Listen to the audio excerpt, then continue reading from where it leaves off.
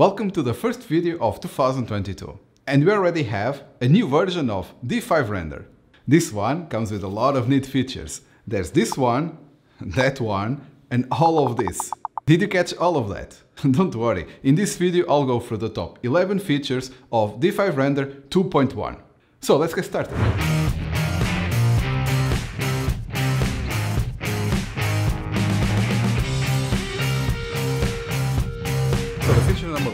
Is D5 GI. So now they introduced this D5 GI in this new version, and as you can see here, it creates less noise, and it's using a hybrid GI solution, and they have the, re the ray tracing and also light probe based GI. So these light probes are basically these uh, little spheres that you see here, and they are placed around the scene. Each sphere captures the light information on that specific area, and so with this light information, it can give a more accurate lighting. And now feature number two is D5 widget. And this one is actually divided into several new features because this D5 widget, now you can find it on, uh, if you go to here to the menu and then preferences, you'll find here widget and you can activate several new features here. So you have advanced image rendering, advanced video rendering, VR beta, stage light and color grading. So I'm going to activate all of them these are toggles, so I can activate like this. And now let's go to image rendering. So if I go to take a, a, new image, now I can select new formats instead of just PNG. I can select JPEG, Targa, TIFF, RAW image, and the same one tone mapped. So you have all of these options. And also for the video, if you go here to the video, you can also select MP4 or AV file format as well. You can also use the virtual reality and this one I cannot show you because I don't have a VR headset so but now they already support this. We have as well a new light which is the stage light so let me put this here inside. So this stage light you can select different types of uh, gobos here or like this one You can control a little bit better and even the color.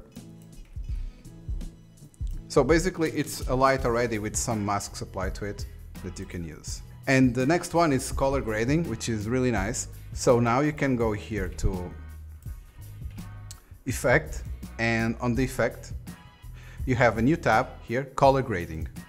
So this color grading, now you can use here this color wheel to control the global or the shadows, the midtones and the highlights.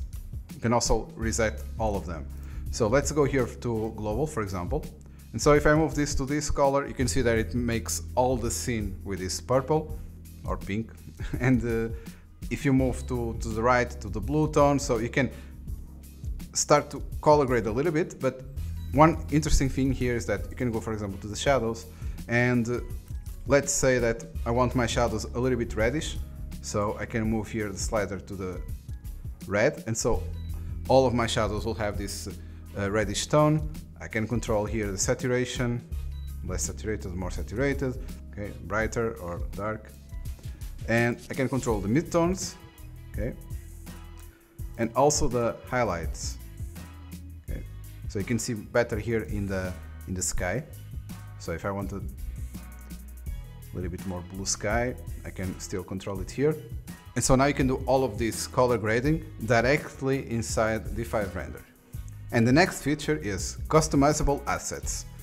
So now you can, on a vehicle, for example, you can turn the lights on and off, you can control the intensity, you can select if you want to see the driver or not. For characters, you can control the clothing, the color of the clothing.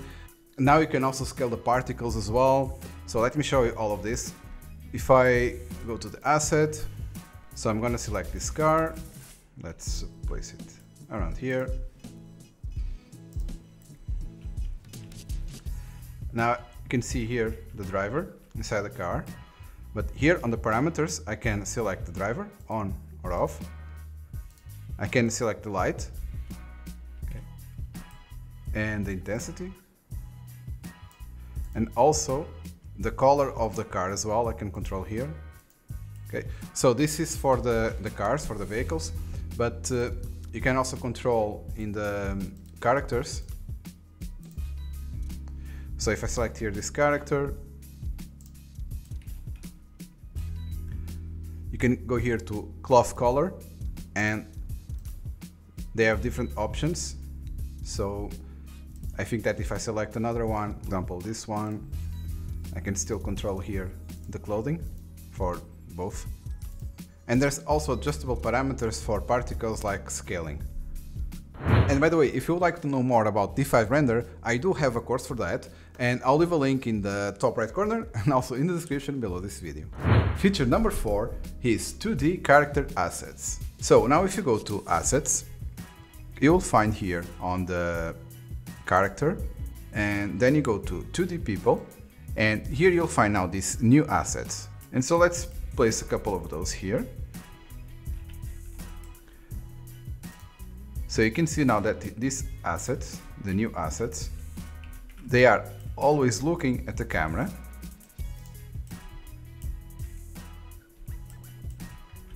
And they will be lit as well according to the type of lighting you are using. So let me change here the, the lighting. So if the sun is shining, so it, they will be lit accordingly. And so you have a couple of options that, uh, that you can use here. And of course you have to pay attention because some of these assets, they already come with uh, lightings. This one is for daylight. So with the sun shining, you see the shadow here. You have to try to match your lighting in your scene with the 2D character asset that you are using. And feature number five is enhanced smoothness. And so this smoothness, it's basically how many frames per second you will have when working in, uh, in D5 Render. And as you can see here, we have on the left side, we have a before version, and this before is in version 1.9, and the right side is version 2.1. And so you can see that with the same scene, it's about double the frames per second. So you will be able to work much better, much faster, without so much lag now in this new version. So feature number six is orthographic image rendering.